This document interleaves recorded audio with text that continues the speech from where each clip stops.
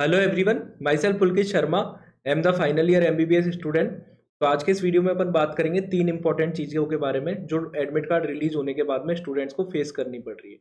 सबसे पहले इंपॉर्टेंट चीज़ आपको एडमिट कार्ड में एंट्रीज कैसे करनी है, कौन सी एंट्री आपको एग्जामिनेशन हॉल में जाने से पहले करनी है, कौन सी आपको एग्ज़ाम के दौरान करनी है फ़ोटो कहाँ पे चिपकानी है, कौन सी चीज़ आपको ब्लैंक छोड़नी है, कौन सी चीज़ पे आपको मार्क करना है सिग्नेचर कब करने हैं, ये सारी चीज़ें मैं आपको लाइव डेमो की फॉर्म में दिखाऊँगा सबसे पहले। दूसरी चीज़ जो स्टूडेंट्स को फेस करनी है, जो आपकी पोस्ट कार्ड साइज़ जो फ़ोटो है उसके लिए स्पेस कम दे रखा है एडमिट कार्ड में, छोटा स्पेस दे रखा है तो उसका सॉल्यूशन के बारे में बात करेंगे। तीसरी चीज़, आपको कौन कौन से डॉक्यूमेंट्स लेके जाना है? आपको पता है कौन कौन सी चीज़ अलाउ नहीं है? मोबाइल अलाउ नहीं है वॉच अलाउ नहीं है, ये सबको पता है। कौन सी चीज़ ले जाना ज़रूरी है? एक भी चीज़ मिस हुई तो आपको एग्ज़ाम नहीं देने दिया जाएगा। वो सारी चीज़ें मैं आपको बताऊँगा। तो सबसे पहले मैं आप मैं आ गया हूँ। आपको एडमिट कार्ड आपको दिख रहा होगा। इसमें मैंने आपको पर्सनल डिटेल्स मैंने हाइड कर ली है, ठीक है? पर्सनल डिटेल हाइड करने के बाद में अभी आपको दिख रहा है एडमिट कार्ड आपको टाइम दिख रहा है, जो रिपोर्टिंग टाइम है, सबका अलग अलग है। इसमें आपको ग्यारह बजे का रिपोर्टिंग टाइम है। आपका कुछ भी हो सकता है, साढ़े ग्यारह, बारह, साढ़े बारह, कुछ भी हो सकता है, ठीक है? जो लास्ट गेट क्लोज हो सक, हो जाएगा, वो आपका हो जाएगा डेढ़ बजे, ठीक है?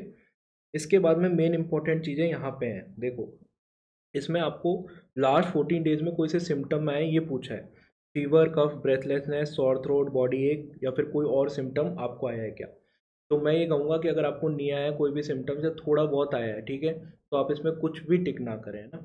ज़्यादातर लोगों को तो नहीं आया हो तो बेटर है, नहीं आया है तो आपको बिल्कुल भी कुछ भी नहीं करना है, सीधा खाली छोड़ देना है इनको, ठीक है? बिल्कुल भी कुछ नहीं करना है, खाली छोड़ दो। दूसरा been in been in close contact with a confirm case of covid nineteen आप कोविड नाइन्टीन के किसी कन्फर्म केस के कॉन्टैक्ट में रहे तो आपको मार्क करना है, नहीं तो आपको ब्लैंक छोड़ देना है, कुछ भी नहीं करना है।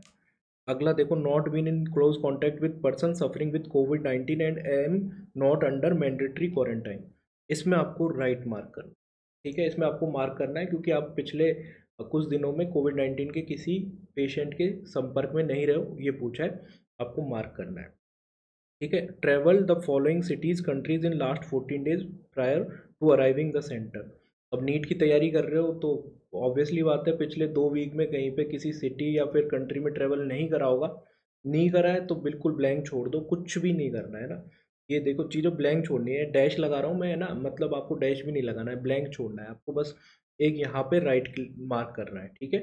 इसके बाद में ये सारी चीज़ें आपको ब्लैंक छोड़नी है, कुछ मत लिखना, है ना? मैं आपको यहाँ पे ब्लैंक का मतलब बता रहा हूँ कि ये डैश डैश कर देना, पर आपको कुछ भी नहीं करना है, ठीक है? अब आ जाते हैं इंपॉर्टेंट चीज़ों के बारे में। इसमें candidates photo same as uploaded on the application form to be pasted before reaching the centre इसमें आपकी पासपोर्ट साइज़ फ़ोटो लगेगी, ठीक है? जो आपने, आपके पहले नीट के फॉर्म में लगाई है, वही फ़ोटो लगेगी पासपोर्ट साइज़ होनी चाहिए। एग्ज़ाम में आने से पहले लेके आना, लगा के आना, ठीक है?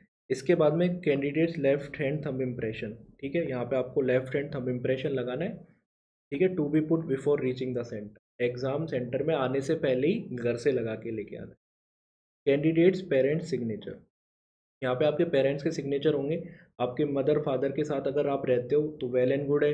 अगर आप कोटा तैयारी कर रहे हो जैसे, और आप दिल्ली में आपके मदर फादर हैं तो आपको वहाँ जाने की ज़रूरत नहीं है। आपको किसी भी, आपसे जो बड़ा है, जो भी आपका गार्जियन है, वहाँ से सिग्नेचर करवा सकते हो। आप पीजी के मालिक से भी करवा सकते हो। कोई इशू नहीं है इसमें, है ना?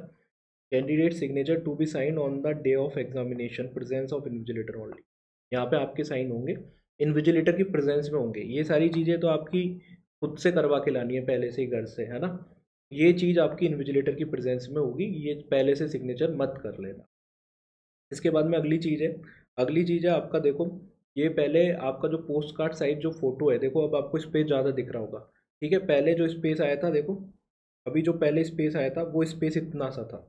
यहाँ पे आपकी फोर बाई सिक्स की पोस्ट कार्ड साइज़ फ़ोटो चिपकती नहीं, ठीक है? स्पेस काफ़ी कम है। अभी जो स्पेस है, आपको वापस से एडमिट कार्ड डाउनलोड कर लेना है। एन ने दिक्कत दूर कर दी है। पिछले साल भी शुरू में दिक्कत आई थी, अभी भी एन को ने शुरू में दिक्कत करी। पर अभी इसको सुधार लिया, वापस से एडमिट कार्ड डाउनलोड करोगे तो आपकी दिक्कत दूर हो जाएगी, इसका साइज़ बढ़ के आ गया यहाँ पे ईजिली आपकी पोस्ट कार्ड साइज़ फ़ोटो चिपक जाएगी, ठीक है? ईजिली बहुत सारा स्पेस है ना? इसके बाद में ये देखो इन्विजिलेटर सिग्नेचर होंगे यहाँ पे और यहाँ पे कैंडिडेट सिग्नेचर होंगे। कैंडिडेट के जितने भी सिग्नेचर होंगे, वो इन्विजिलेटर की प्रेजेंस में होंगे, घर से कुछ नहीं करके लेके जाना है। ये तो ऑब्वियस ही बात है यार फ़ोटो और आपके जो थंब इम्प्रेशन है, वो तो घर से लगा के जाओगे। क्योंकि इतना टाइम नहीं होता वहाँ पे तो ये तो घर से करने के काम है। पेरेंट्स के सिग्नेचर भी घर से करा के लेके जाने हैं ना, और खुद के सिग्नेचर आपको वहीं करने हैं इन्विजिलेटर की प्रेजेंस में करने हैं। इसके बाद में मैं दो इंपॉर्टेंट पॉइंट बता देता हूँ। It is mandatory to the candidate to bring this page of admit card with pasted photograph आपको ज़रूर से लेके आना है एडमिट कार्ड भी लेके आना है, और आपको ये परफॉर्मा वाला भी लेके आना है, जिसमें आपकी जो फोटोग्राफ है, वो पेस्ट होनी चाहिए। If he she does not bring this then he she will not be allowed to sit in the examination and shall lead to his और हर डिसक्वालिफिकेशन आपको एग्ज़ाम देने नहीं दिया जाएगा अगर आप ये सारी चीज़ें नहीं लेके जाते हो। It is mandatory to hand over this to invigilator आपको ये सारी चीज़ें हैंड ओवर करके आनी है इनविजिलेटर को साथ में पेपर के साथ में घर नहीं लेके आ जानी है। ठीक है, नहीं तो आपको दिक्कत हो जाएगी। ये सारी चीज़ें आपकी रिस्पॉन्सिबिलिटी है कि आप उसको हैंड ओवर करके जाएँ, ठीक है? इसके बाद में ये सारी चीज़ें आपकी सॉल्व हो गई। आपको ये पता लग गया कौन कौन से आपको एंट्री करनी है, कैसे कैसे एंट्री करनी है, कौन सी एंट्री एग्ज़ाम में करनी है, कौन सी एग्ज़ाम में जाने से पहले करनी है। और आपकी पोस्ट कार्ड साइज़ जो फ़ोटो है, उसका भी इशू रिजॉल्व हो गया, वापस से एडमिट कार्ड डाउनलोड। अगला जो है, आपके कौन से ऐसे डॉक्यूमेंट है जो आपको कंपलसरी लेके ही जाने हैं। अगर उनमें से कुछ भी मिस हुआ तो आपको एग्ज़ाम देने नहीं दिया जाएगा तो उनकी लिस्ट में बता देता हूँ। ठीक है? उनकी लिस्ट देखो। आपको सबसे पहले एडमिट कार्ड तो कंपलसरी लेके जाना ही जाना है। आपको पासपोर्ट साइज़ फ़ोटो जो चिपका के लेके जानी है, अभी दिखाया था कहाँ पे चिपकानी है, वो लेके जानी है। पोस्ट कार्ड साइज़ फ़ोटो जहाँ पे चिपकानी है, वो लेके जानी है, ठीक है? ओरिजिनल गवर्नमेंट आईडी होनी चाहिए, ठीक है? जिसमें आपकी फ़ोटो पैन कार्ड हो सकता है, आधार कार्ड हो सकता है वोटर कार्ड हो सकता है, राशन कार्ड हो सकता है ड्राइविंग लाइसेंस हो सकता है पासपोर्ट हो सकता है।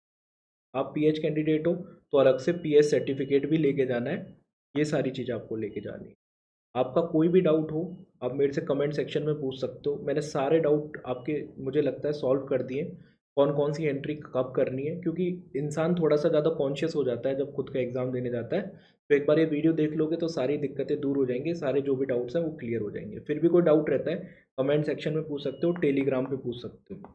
टेलीग्राम का लिंक मैंने डिस्क्रिप्शन बॉक्स में दे दिया आप वहाँ पर पूछ सकते हो। इसके अलावा जो भी अपडेट होंगे नीट से रिगार्डिंग नीट के एग्ज़ाम के बाद में भी जो काउंसलिंग से रिगार्डिंग जो भी अपडेट होंगे, आपको इस चैनल पे मिलते रहेंगे पूरे।